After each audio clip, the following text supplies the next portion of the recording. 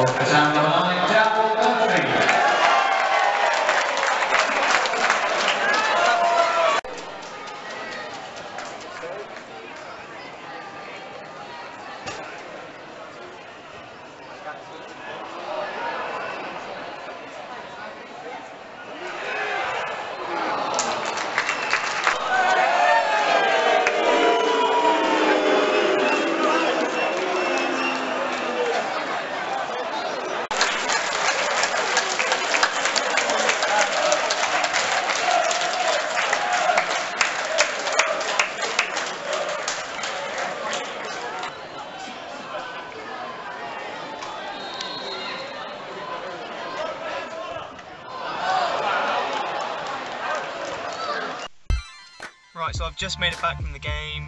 Ugh, my 2 0 prediction was absolutely flipping miles out. We lost 2 1, it was disappointing. Um, if there are any positives to take, I'll definitely sign that uh, Roland Lamar. He looked like a good player. Uh, Webster, the centre back, he looked absolutely solid, but uh, the goal we conceded, that was schoolboy. That's about it there, really.